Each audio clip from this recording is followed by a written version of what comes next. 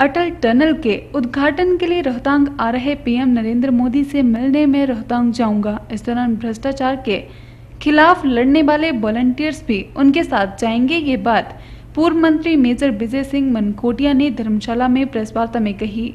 मनकोटिया ने कहा कि सीएम जयराम ठाकुर को भी प्रदेश के एक मंत्री द्वारा खरीदी गई भू संपत्तियों बारे पत्र लिखा था, लेकिन कोई कार्रवाई नहीं हुई। मनकोटिया ने कहा कि उन्होंने पहले भी भू संपत्तियों की जाँच हेतु तो पीएम को पत्र लिखा था। अब पुणे, पीएम को पत्र भेजा है। मनकोटिया ने कहा कि अब पीएम रोहतांग में सुरंग के उद्घाटन के लिए आ रहे हैं। इस दौरान मैं उनसे मिलने जाऊँगा और फिर से मामले को उठाऊँगा। मनकोटिया ने कहा कि सीएम जयराम ठाकुर जी, आप स्वयं मुझे पीएम से मिलवाएँगे। मनकोटिया ने कहा कि उन्होंने जो भू संपत्तियों की खरीद का मामला उठाया है, उसकी सीबीआई और ईडी से जाँच करवाई जाए। मनकोटिया ने कहा कि शिमला में सत्र चल रहा है, वहाँ भी विपक्ष ने मामला उठाया, लेकिन सीएम का जवाब संतोषजनक नहीं रहा। मनकोटिया ने कहा कि शिमला में सत्र चल रहा है, वहाँ भी विपक्ष ने मामला उठाया, लेकिन सीएम का जवाब संतोषजनक नहीं रहा। मनकोटिया ने सीएम से पूछा है कि सीएम साहब आप क्यों इतने मजबूर हैं कि जवाब नहीं दे पा रहे?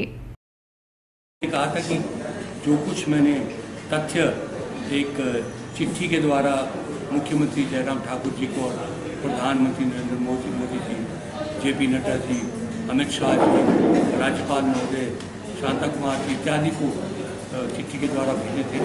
मैं चाहता था कि उसकी एक सीबीआई इंक्वायरी करवाएँ लेकिन मुझे खेद है कि वो सीबीआई इंक्वायरी नहीं हुई।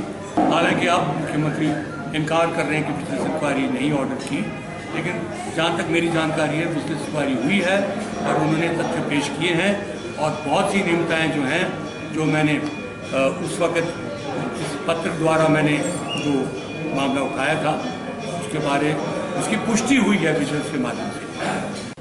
अब जो मैंने चिट्ठी लिखी है, वो प्रधानमंत्री जी को लिखी है।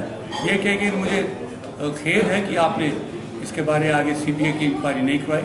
अब मैं चाहता हूँ कि सीबीआई की इंक्वायरी भी हो ईडी की भी साथ में इंक्वायरी हो। अगर छापे मारे जाएँ तो बहुत कुछ निकल आएगा, मुझे विश्वास है, यकीन। बहुत कुछ सामने आ जाएगा। भ्रष्टाचार के विरुद्ध लड़ाई लड़ने का। और ये जो इस मामले को जो है, ये अभी यहाँ मैंने अपना सफ़र खत्म नहीं किया है। कुछ दिनों में मैं तीसरी किस्त आपके सामने पेश करूँगा। ये सत्र जब तक चलेगा, उसके पहले ही मैं एक और किस्त पेश करने की कोशिश कर रहा हूँ। मुझे और सबूत मिलने की उम्मीद है। लेकिन उसके बाद, जब इस महीने के आखिर में माननीय प्रधानमंत्री श्री नरेंद्र मोदी जी आ रहे हैं यहाँ, कुल्लू मनाली में अटल सुरंग का उद्घाटन करने के लिए तो मैंने ये आपके माध्यम से घोषणा कर रहा हूँ उस वक्त मैं यहाँ से वॉलंटियर्स लेके जा रहा हूँ। जो वॉलंटियर जो स्वयं अपने आप को आगे आके कहें कि हम भी भ्रष्टाचार के विरुद्ध लड़ने के लिए तैयार हैं। हम चाहते हैं कि पारदर्शिता हो और जवाबदेही हो ट्रांसपेरेंसी और अकाउंटेबिलिटी हो इन मंत्रियों की, इन नेताओं की। तो मैं उनको मिलने जाऊँगा और आपके माध्यम से मैं आग्रह कर रहा हूँ कि उनसे मैं निवेदन करूँगा श्री जयराम ठाकुर जी, मुख्यमंत्री जी से कि आपने मुझे मिलाना है। प्रधानमंत्री से। और अगर आप नहीं मनाएँगे तो फिर मैं क्या करूँगा? ये आपने देख लेना। मैं आपको आज कह रहा हूँ। आपने मुझे मिलाना है क्योंकि ये सारी बातें उनके समक्ष रखनी है। हम प्रधानमंत्री जी का बहुत आदर करते हैं। आपकी भी हम आदर करते हैं। आपकी तारीफ़ भी की है। लेकिन अगर आप खड़े नहीं उतरे पब्लिक की नज़रों में तो विरोध करने के लिए हम कोई कसर नहीं छोड़ेंगे। और मैंने प्रधानमंत्री से मिलना ही मिलना है।